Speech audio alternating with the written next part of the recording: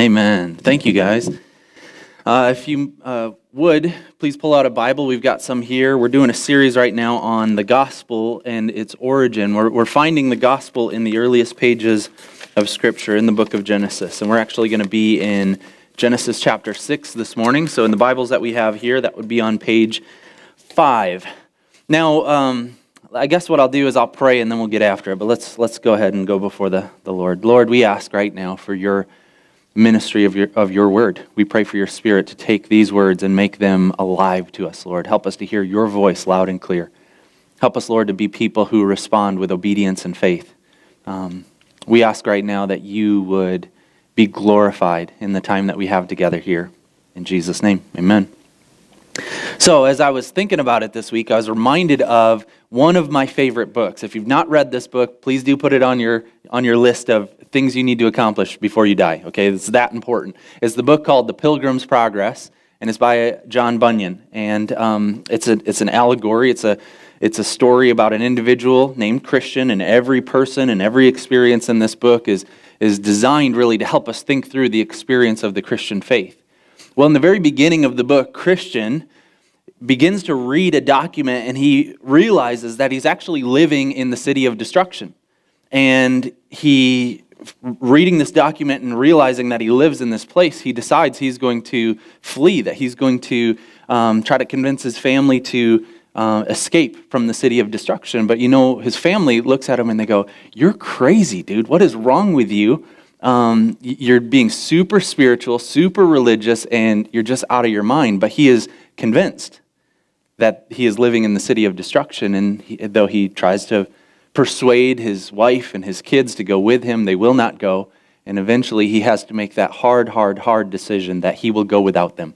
And he flees. And the entire storyline is him um, experiencing the Christian faith and, and being introduced to all of these different characters and learning things along the way. And, you know, you might be offended uh, that he left his wife and kids, but later on, there's book number two where Christiana, his wife, also makes the trek. And, uh, and I was thinking about it this week because we're about to jump into a story in the Bible that often will upset people when they look at the details of it. It's the story of Noah. And, and, and the reality is that God looks at what's happening on the earth. He looks at the condition of humanity. He sees how there's a, there's a wicked bent in the heart of humanity, and, and he says, I am going to destroy the earth and its inhabitants. I'm going to flood the earth. And, and it reminded of me of the Pilgrim's Progress uh, the judgment of God, the city of destruction. And, and often this is an area of Christianity that we kind of push aside. We don't want to talk about it. Uh, but, but here we find it right, right in this story, and, and we have to decide are we going to be like Christian? Are we going to, hearing the voice of God, say, you know what, I will do whatever He calls me to do because I believe His word is faithful and true? And, and this idea of judgment and destruction, as awful as it sounds, it is a thing that is presented in the Bible. The idea of judgment, I told you uh, last week, um, it's actually the first doctrine in the Bible to be rejected. In Genesis chapter 3, verse 4, the serpent himself says, No way. You certainly will not die if you eat this fruit. God, essentially, there's this theme going where people are willing to say, No, no, no, no. You don't really have to worry about the judgment of God. And the truth is, the Bible consistently puts that out there as a truth to be reckoned with. And so, what do we find here? We find in the text the, the the judgment of God, and we're going to look first at verses 5 through 8. So look with me at them. The Lord saw how great the wickedness of the human race had become on the earth, and that every inclination of the thoughts um, of the human heart was only evil all the time. The Lord regretted that he had made human beings on the earth, and his heart was deeply troubled. So the Lord said, I will wipe from the face of the earth the human race I have created and with them the animals and the birds and the creatures that move along the ground, for I regret that I have made them.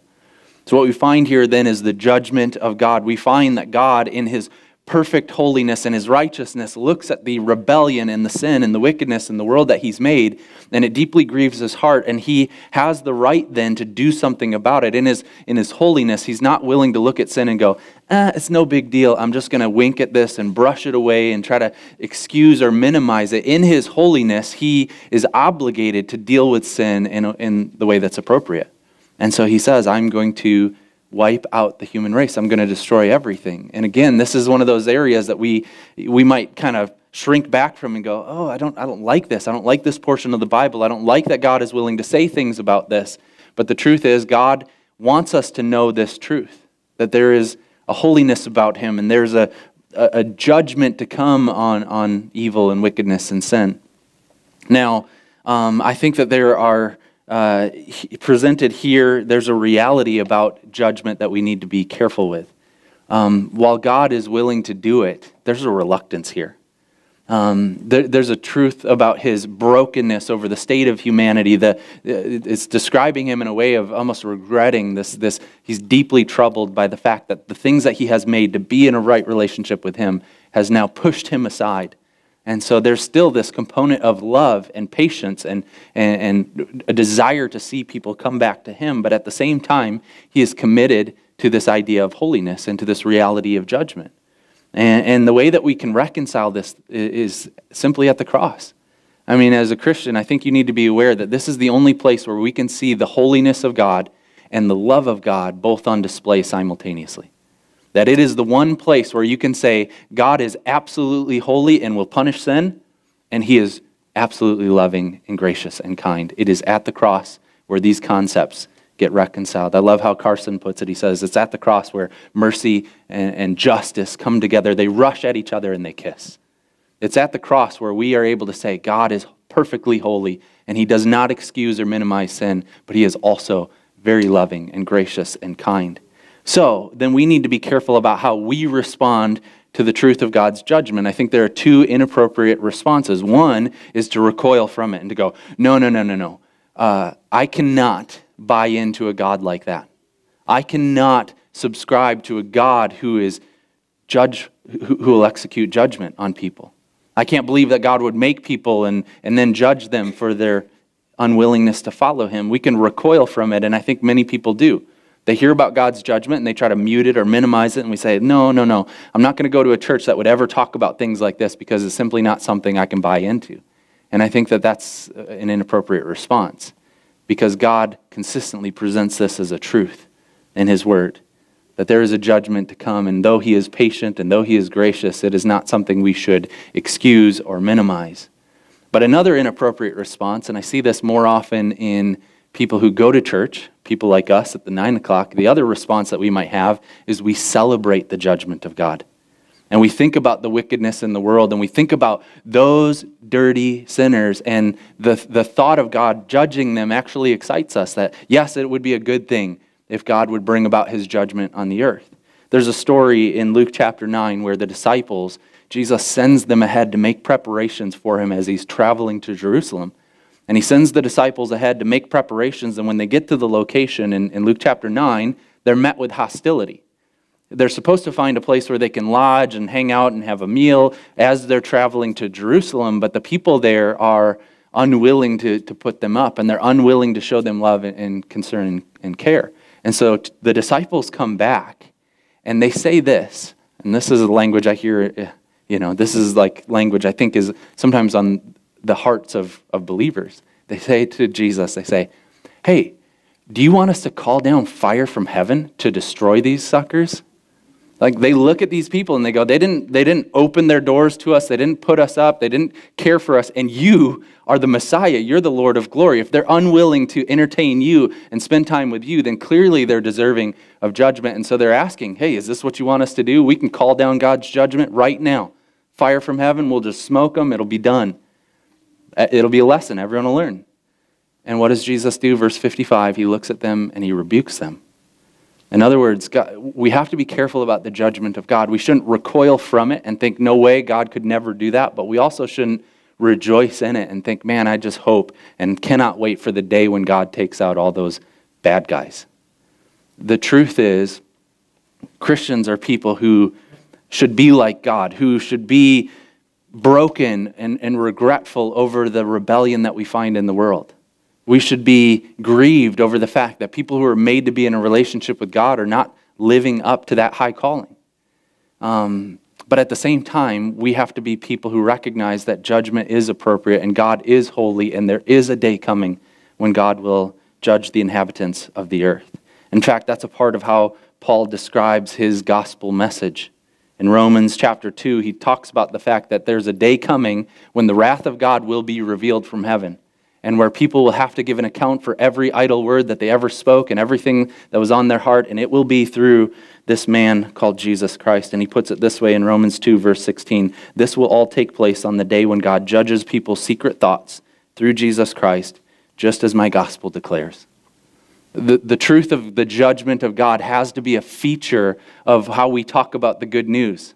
When we talk about people experiencing the good news of God, there's kind of a precursor to it. There's a reality that the good news is really good because there's also bad news. That if we live in rebellion to God, that there is a judgment for sin. That there is a that, there's a there's a threat of the wrath of God coming against the sinfulness of humanity. But the good news is this that God, in love, has made a way for that wrath to be poured out not on me, but on his son. And when we present the good news, then we cannot mute this portion of the message. There is a judgment of God, and it will happen one day. And we have these episodes, even in Genesis, where we see this is what it would be like. This is what it would be like to see the floodwaters of God's wrath poured out on people for, the, for their sinfulness. And we find it here. And I think it's very important that we would maintain that because the, the other option is to just not talk about judgment. And what we lose then is the essential element of Christianity. And, and I think a lot of people, because they're unwilling to talk about God's judgment, they end up with a Christianity that's simply self help. There's a God who loves you. He's got a wonderful plan for you, and all you need to do is just kind of get him on board with you, and he's just going to shower his blessings out on you. And, and that self, self-help version of Christianity, it's, it's appealing and attractive, and, and, and people's lives can even be beautified from it, but the reality is it's not the entire truth. The entire truth is that there is sinfulness in our hearts for which God, in his perfect holiness, would be fair and right to bring judgment upon. And God, here, we'll see it here in just a moment, has devised a plan for us in His grace to not have to suffer the effects of our sinfulness, but to be able to be forgiven and brought back into a right relationship with Him. So the first thing we see here is the judgment of God. And again, it could be something that you kind of shrink back from and you go, I don't know how I feel about this, but, but hopefully you'll see as we, as we continue to work through this that God does have a beautiful plan for His people. So we see the judgment of God, but we also see here the favor of God in the midst of humanity's rebellion, in the midst of people being wicked all the time, every day, nonstop, we find an indi- individual and his family who has experienced the grace of God. We find a man named Noah, and, and as the Bible tells us, this individual, in the midst of all of this brokenness and all of this rebellion, this man and his family, they're, they're doing life in a different kind of way. Look at verse 8. But Noah found favor in the eyes of the Lord. So, yes, there, there was this pervasive wickedness here in our story, but we find an individual and his family who has experienced the favor of God. In the midst of rebellion, there is a way for people to have a, a, relationship with God, to experience the favor and the grace of God. And, and he's described then in verses 9 and 10. And, and, and you see, in the midst of this darkness, there's a bright light here. Verses 9 and 10, this is the account of Noah and his family. Noah was a righteous man blameless among the people of his time, and he walked faithfully with God. Noah had three sons Shem, Ham, and Japheth. And so, as we're being told about this man, we're, we're being made aware of the fact that he is different, that he is noticeably different, that, that when he's described, he's described in a way that is uh, three different things. He's righteous, he has chosen to do the right thing, he has chosen to walk in a way that is pleasing to God. When he thinks about decisions, he is thinking in reference to his Maker. So he's righteous in that regard. He's blameless among the people of his time. That when you compare him to any other individual alive at that point, you're able to say there's a difference in his character, there's a difference in his integrity, there's a difference in the way that he carries himself. And then finally, he walks faithfully with God. And that's an that's a important thing, man. This is what we want to be described as people who walk faithfully with God. Just a little earlier in the book of Genesis, we're told about Adam walking with God in the garden. Uh, we're told about Enoch, another individual who walked with God, and that was the way that he's described in the Bible. He walked with God, and then he was carried away. And, and so we, we find this theme. Believers are people who want to walk with God, who want to be with God. There's an ability here then to be somebody who's receiving the favor and the grace of God. And, and I'm going to show you how you could be described in these, in these ways. Uh, I'm going to show you here in just a minute how you might be an individual who is able to say, I, I have experienced the favor of God. I have received the grace of God. And, and it might surprise you how it works. Um, it might surprise you how Noah comes to be this person who is described in these glowing terms. But, but let me at least say this when you look at this text and you see these descriptors, would you please consider allowing those to be your ambition? To be described. I mean, imagine if you, when you go to work, people think about you as a righteous individual, as blameless, as somebody who walks with God. Let these descriptors be something that you would strive for, and you go, you know what? Out of all the things that I could pursue with my time and energy, this is something that I want to be true of me. I want to be righteous. I want to be blameless. I want to walk with God. And I want people to look at me and see those realities. When we think about um, Noah and the favor of God that he has received, there are some privileges to experiencing the grace. For one, um, God is telling him, I'm about to destroy everything, but I'm going to make a way for you to be saved. So, the first thing, one of the privileges that we see about having the grace of God is, is a salvation. He gets to go into the boat, he gets to be with his family, and he gets spared. Another privilege uh, of this experience of God's grace is that he gets used of God um, in the sense that through him and through his family, humanity is going to be maintained, that, that life will go on after the purging. Um, and so he'll be used of God. But what we see here specifically is that there's another, another privilege. And here's what it is it's the privilege of being aware of what God is doing. Man, as, if you're a Christian, this is an incredible opportunity. God loves to tell you what he's up to. Look how it goes, verses 11 through 13. God invites Noah into his confidence. Now the earth was corrupt in God's sight and was full of violence. God saw how corrupt the earth had become, for all the people on the earth had corrupted their ways. So God said to Noah, I'm going to put an end to all the people, for the earth is filled with violence because of them. I'm surely going to destroy both them and the earth. So, what he's doing here is God is speaking directly to his servant, and he's telling him, here's what you can expect to have come true. It's, it's a privilege that we have as believers that God reveals things to us. He'll tell us, here's what I'm up to. Here's what I'm doing. And he gives us his word in order to speak to us, but by his spirit, he also gives us impressions of the things that he's doing. And this becomes a pattern in the scriptures of how God deals with his people. In fact, Amos, a prophet later on in chapter 3, verse 7 of his book, puts it this way Surely the sovereign Lord does nothing without revealing his plan to his servants, the prophets. You might not realize how big this is, but God wants to talk to you about what he's doing in the world. And that is an incredible privilege that God, through his word, will, will tell you here's what I'm up to. You get an inside track on my plan in this world. You get to be made aware. You get to be brought into the, the confidence of God where He's saying, Here's what I'm up to.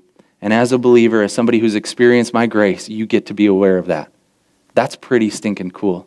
And as Christians, we have the Bible and we have the Holy Spirit of God helping us to understand these things. So we go here and we hear what God is doing and what His will is.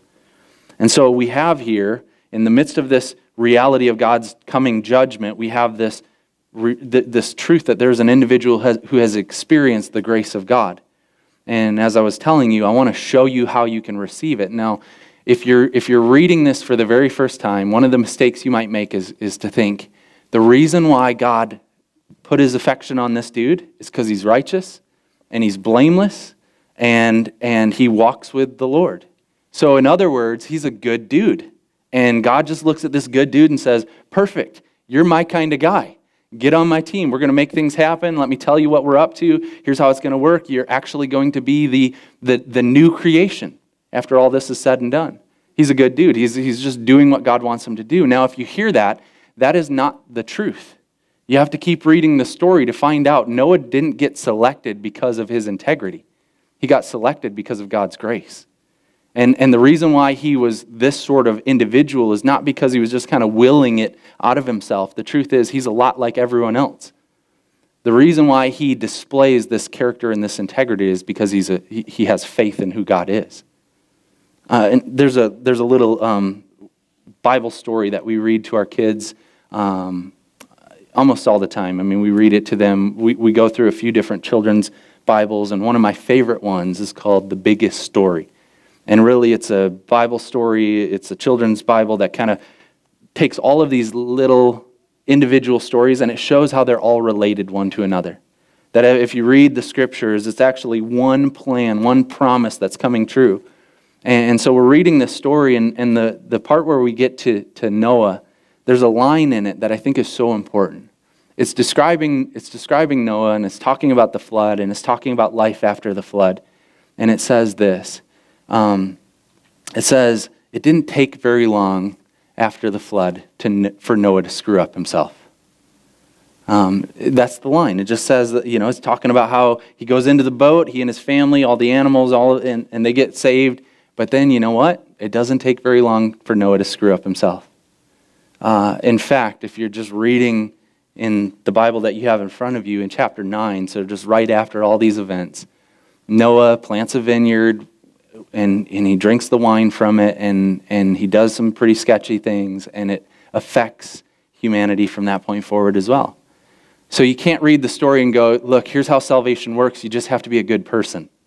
You just have to try really hard. You just have to get, you know, kind of come to church and, and um, figure out what being a good person looks like, and that's the kind of individual that God saves. No, the truth is, the people that God save, uh, they are sinners.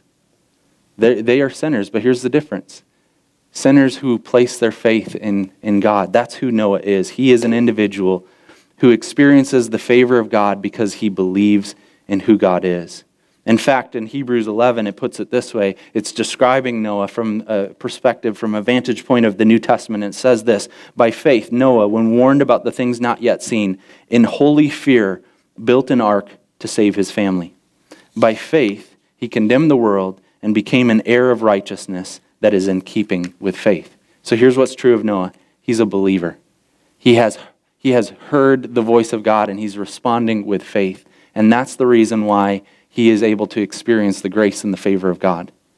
And so it's available to anybody. It's not, I'm not uh, going to stand up here and say, you got to get your life in order. You got to be, you know, just well polished and, you, you know, playing the game of what Christianity needs to look like. The truth is, all of us have a little bit of that, have that sinfulness in us.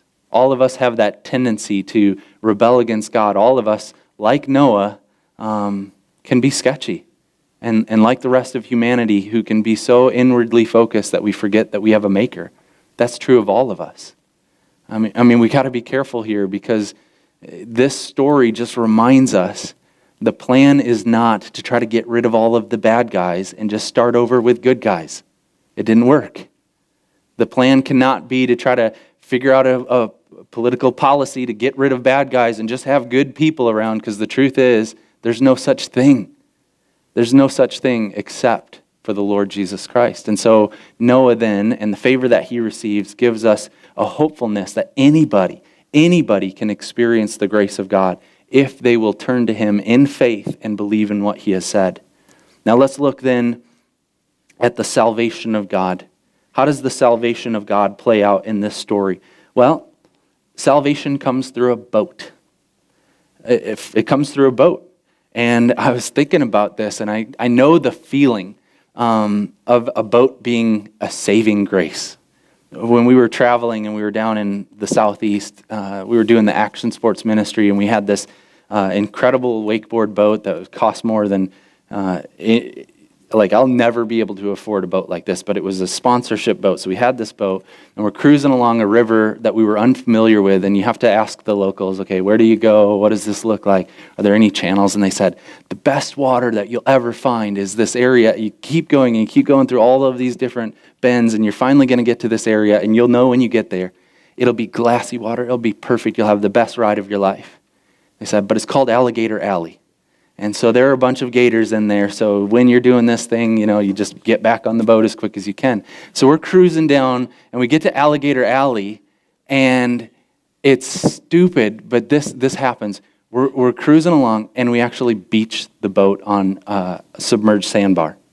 We hit the sandbar and I'm thinking to myself, okay, first off, You know, normally if I'm in the Midwest, I can call Pops and he's like a superhero and he would just fly to the rescue and fix everything. But I'm like, I'm in the Southeast and we're in the middle of nowhere. We don't even have any locals with us on this boat. I have no idea what we're going to do. And I have to call, I have to call the, the dealership now and tell them, hey, I just destroyed your, your boat. I'm sorry.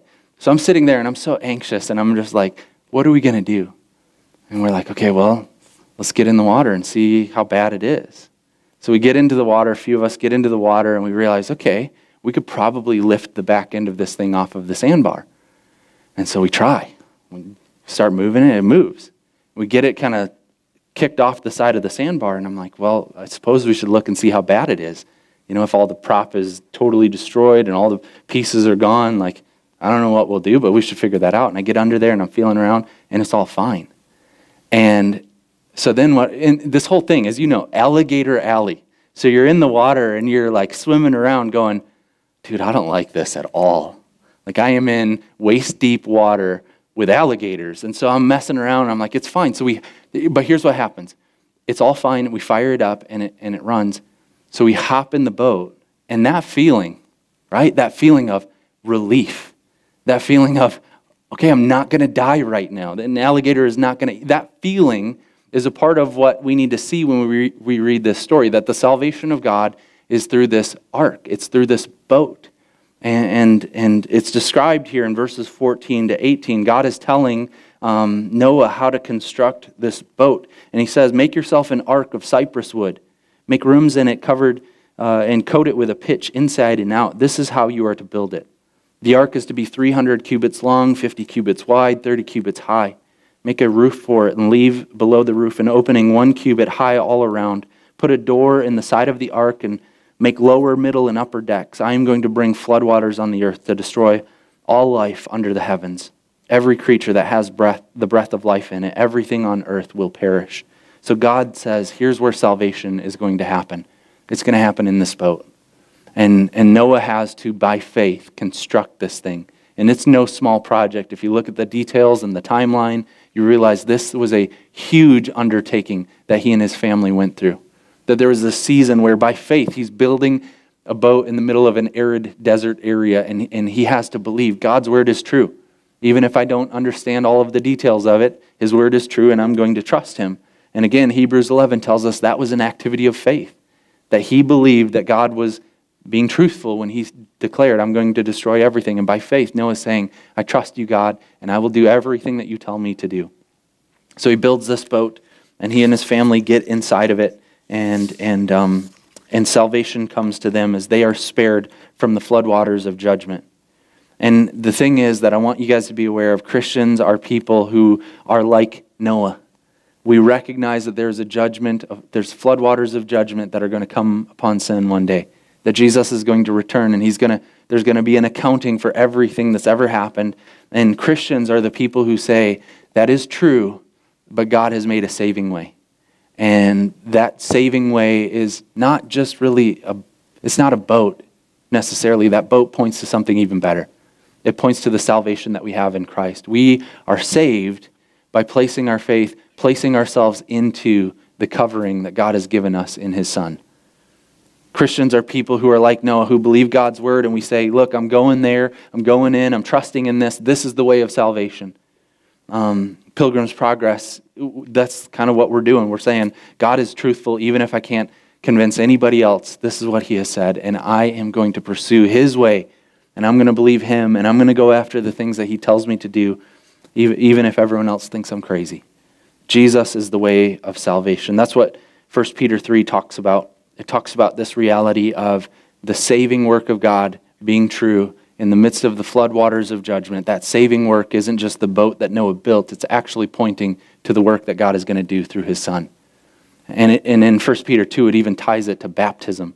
And it says, This is the experience that we have. Uh, this is the salvation that we have as believers. We are people who have trusted in Christ and experienced the provision that God has made for us. So, salvation, the salvation of God, is, is um, is in Christ, but it's also a promise. Part of the gospel message, part of the saving work of God is, is the promise that God is going to do. In verses 18 to 22, we see that God is making a promise to his people. Verse 18 puts it this way I will establish my covenant with you, and you will enter the ark, you, your sons, your wife, and your sons' wives with you. He's saying, I will be in a relationship with you. This is the first time in the Bible where that word covenant shows up, and it is a very important word. It's where God is saying, I am choosing to relate to a people in a specific way, and they can count on it. I am declaring myself in a relationship with them. I am binding myself to these people. And he's telling Noah, this is the covenant with you. If you enter this ark, if you build this thing, you it'll get spelled out along the way, but he's essentially saying, it is through you then that you will be my people and I will be your God and I will dwell with you.